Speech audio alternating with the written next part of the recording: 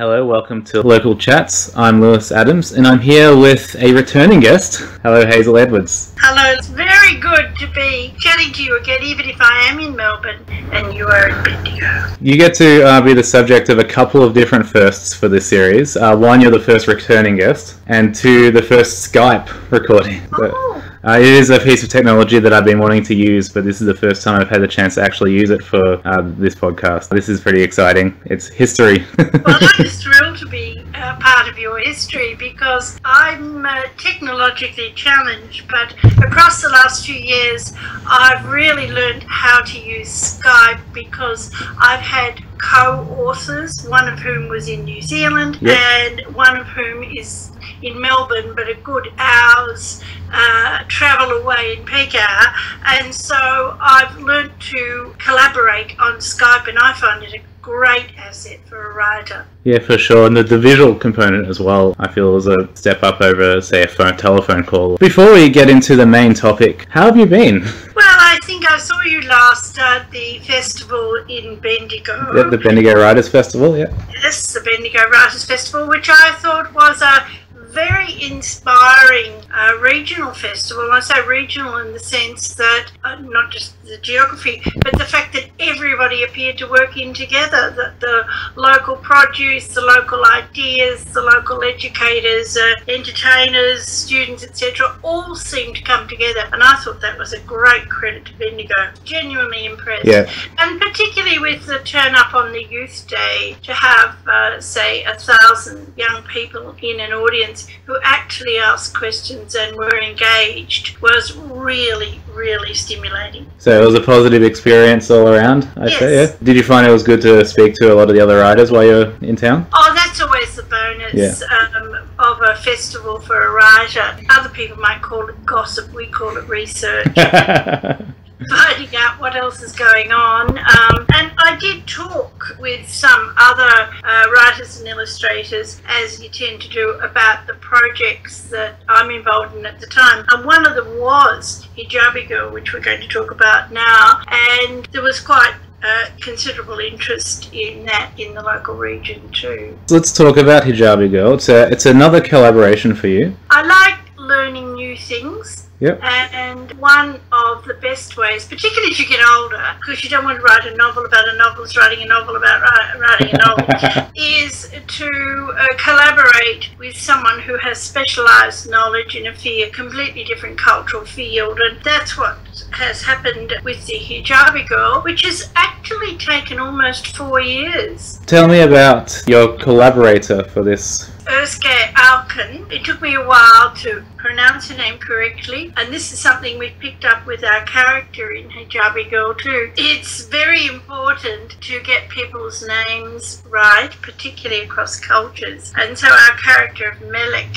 most people have trouble pronouncing her name. I met her at an author talk, a literary professional development, and she was the animated educator librarian in the audience who was extremely well read and who talked to me. Uh, she's very hard to say no to uh, about coming to her then school. At that stage, she was a librarian working at one of the Islamic schools, uh, kindergarten through year 12, and they hadn't had an author there before, and she wanted me to visit them. And so I eventually did. And what she wanted was to have a, a very animated, very good um, educator, communicator of ideas. And she'd been running book parades for Book Week, and her students couldn't find any books where there was a character wearing a hijab in the story itself. And she said, Could I write one? And I said, No, you write it yourself because you know what you're talking about. I don't wear a hijab, I'm not of that culture.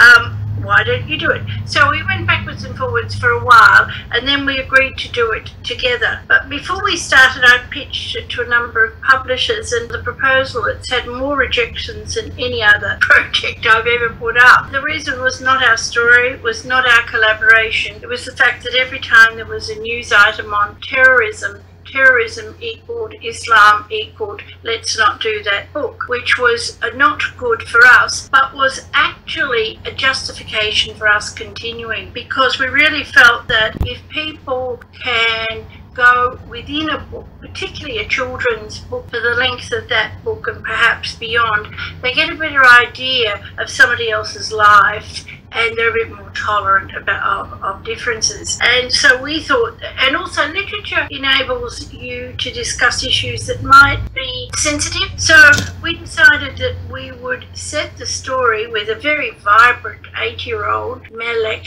who wears a hijab, and I've had to learn a great deal about the rationale for hijabs, etc., and the and the beliefs behind uh, the particular culture. Ozge took us to an iftar. I didn't know what an iftar was. It's a street festival during Ramadan where guests are welcomed and thanked. Our family went. Now, our family are all redheads and don't wear hijabs.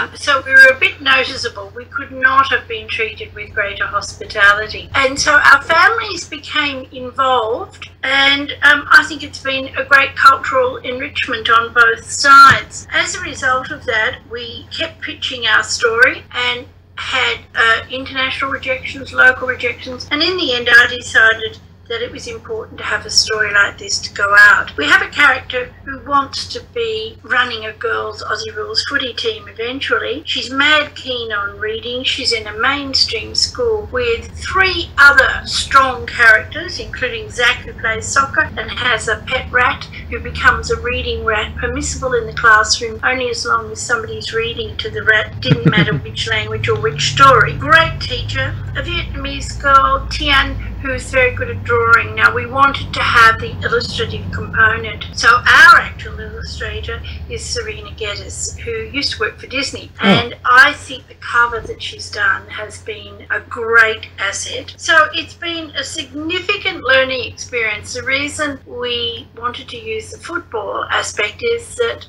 my co writer is an avid fan of a particular football club that has red and black in it, and she has a color coded hijab to wear to the footy. And we made this uh, tendency with the mother of our character, who is a fashionista who designed footy color coded hijabs. We have a Barbie doll who's got a hijab outfit, and what we found was all the things that we were inventing for our characters were subsequently happening.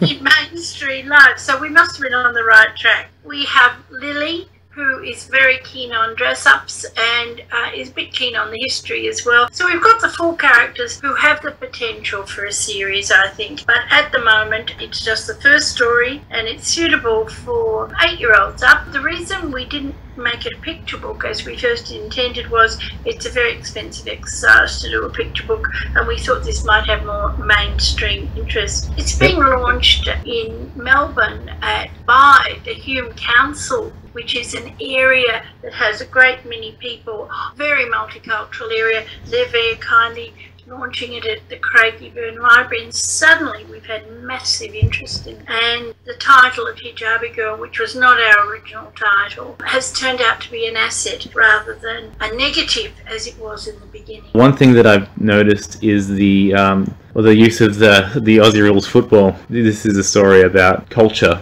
and the, the meeting of cultures in a way. And what part of Australian culture is better than Aussie rules? Well, I have to say at this stage, I have virtually no knowledge because, well, I do now. I don't even barrack for a team. My co-writer, uh, and in to a certain extent, the character of Melek is in part based on her avid reader, vibrant character, yep. uh, wears a hijab, barracks for football. There are elements, uh, as with any story, of, of the creator in the characters. But I wanted to make sure that the quite strong boy character, Zach, is the one uh, who is a little contrary, and he's a soccer fan. Uh, now, he's not keen on reading at all. And so there's a bit of a tension between them, but it's um, believable. And so uh, we've got soccer in there as well. You'll notice on the front cover we've got the soccer ball. How'd you go about finding the common ground, meeting all the different cultural influences? I deferred to Ozge on anything to do with the culture. Yeah. Um, she took me to the Immigration Museum and explained one of the exhibitions that was there. My husband and I also went to the Islamic Museum, which we found fascinating in terms of the maths and uh, scientific history in there as well. But in terms of the visuals in the book, the, the most challenging aspect was for our illustrator, Serena, who was aware that she needed to make the dress modest. And so she had to lengthen the dress on our Melek character, who's in the hijab. She had to lengthen the sleeves. And so things like that have been very important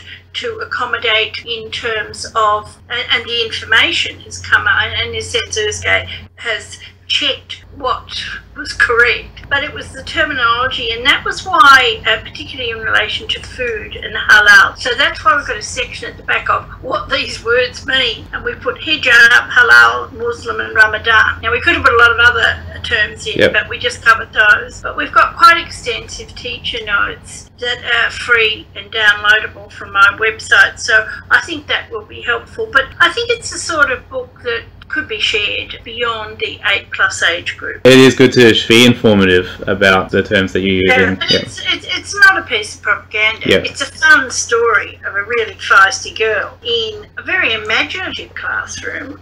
Great fun creating Miss the teacher who, who gets dressed up as a caterpillar for the um, very hungry caterpillar for the uh, uh, book parade, and you know we had a lot of humour in it too. The way we did it was because Ozge was involved in, in, the school at that time. At the moment, uh, she's on maternity leave, but she's moved to Boroondara, which is a council library, so she's not directly in the school anymore. But it was very, very helpful in terms of her explaining the customs of the food, particularly halal, which I didn't realise had such wide implications. So I think the reasons for having a look at the book, I mean, it's a fun story, but yep. uh, it's really about friendships and how people get along together. And we, we've become friends in the process, which I think has been a bonus, particularly my um, my daughter and uh, have become quite friendly. And so we visited when her, her child was born, and I said the gift to her was her first book, maybe too, because this is her first book. It's my 201st, but it's her first book. And uh, a book is a little bit like a baby. It has to go out in the world and grow up and eventually walk and uh, have a life of its own. So we hope that uh, Hijabi Girl will do that. But we've had a phenomenal response from a very positive response from the Islamic community, and the book isn't even launched yet. It's available from BookPod, but it's available as a print book or as an ebook, which means it can travel into internationally fairly quickly, which is is a good thing from our perspective. So we have this vision that sometime there will be maybe a TV show with the Hijabi Girl TV series because we like all of our characters and we don't want to prefer one above the other. TV show does sound pretty exciting, actually. you never know because the difference with I write for adults and for children, but writing in the children's area, a book can have a very, very long life. And I think we first started talking about the hippopotamus on the roof eating cake when I first met you. And yeah. The hippopotamus is, is now 36, nearly 37, uh, since the time our roof leaked and the, and the book was written and so on. And this year, there's a, a touring musical, Hippo Hippo, which I think comes to your area too. And so it's a theatrical production with music. And so you never know how far a story will travel. I'll have to. I'll have to take my kids to that. that sounds exciting. Oh, you have to. Yeah, it's got some great songs. It's a Gary Ginnivan production, and yep. it's taken little while to get it up, but uh, it's travelling nationally and it's going your way uh, between uh, early May and late August. It'll be travelling uh, nationally goes up as far as uh, Townsville, I think, in one direction, and uh, Alice Springs in the other, and through New South Wales, Queensland, Victoria. Uh, unfortunately, it doesn't get as far as Darwin, which is where my son lives, and he was the inspiration for the original hippo when he was four. Oh, no. He's a bit older than. Before we go, I just, I just want to get back to the uh, some of the feedback you've received from Hijabi Girl. I think it is important that books reflect the real life, the way it actually is. And so to include Asian kids and, and black kids and kids in hijab is just part of the rich smorgasbord of, of the way things really are. And I think that should be reflected in the books.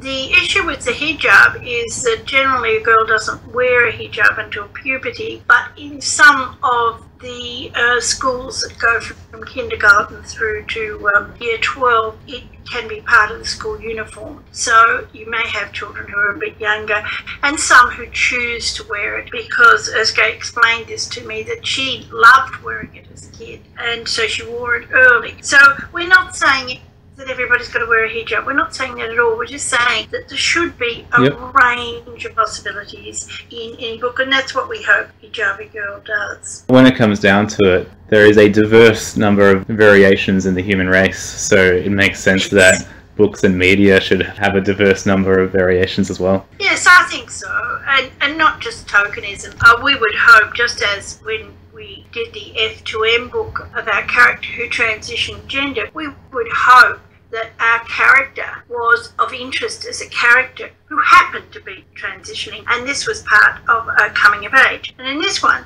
it's a really fun story with lots and lots of things happening. It also deals indirectly with things like the bullying or the insults, like why are you wearing a towel on your head? Do you ever wash your hair in the shower? Do you ever take it off? Have you got cancer? All these sorts of things that kids do have to deal with because others don't necessarily understand. That's why we've got four kids on the front cover. We've got a very mischievous boy with a soccer ball and a reading rat called Rattus Rattus, uh, and three other characters, one of whom happens to have a hijab.